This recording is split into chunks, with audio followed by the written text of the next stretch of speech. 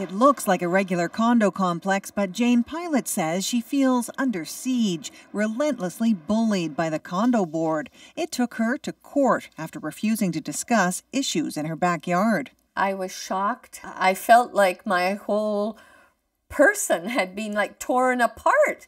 Her crimes, according to the condo corporation, things such as two flower pots that were too large, an extra patio chair, solar light not allowed in the bylaws. I was absolutely floored.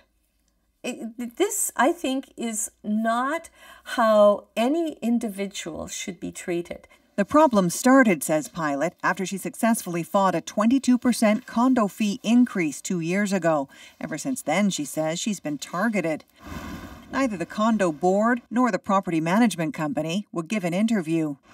Condos are the fastest growing type of housing in Canada. The Condo Information Centre was created by a condo owner to help other owners understand their rights and responsibilities.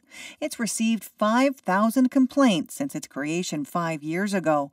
One third of those from condo owners who say they've been intimidated, bullied, or threatened by boards or managers when they make justifiable complaints.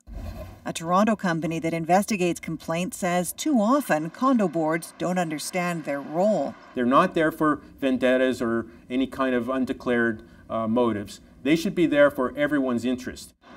Across the country, provinces are grappling with how to keep bitter condo disputes from clogging the courts. This July, Ontario will roll out new legislation that creates a tribunal for grievances, a lower cost option to court cases that could cost owners tens of thousands for petty disagreements. But this condo advocate says BC is leading the way. Last summer, it created the country's first completely online tribunal. For individual owners, it provides affordable access to justice. Jayne Pilot's case was moved from court to mediation where a settlement was reached, but Pilot says it took such an emotional toll, she's now considering moving out. Erica Johnson, CBC News, Vancouver. And remember, we count on you to help us stay on top of the issue. So if you have a story you feel needs to be told, reach out. You can submit it through Go Public's website or email us go public at cbc.ca.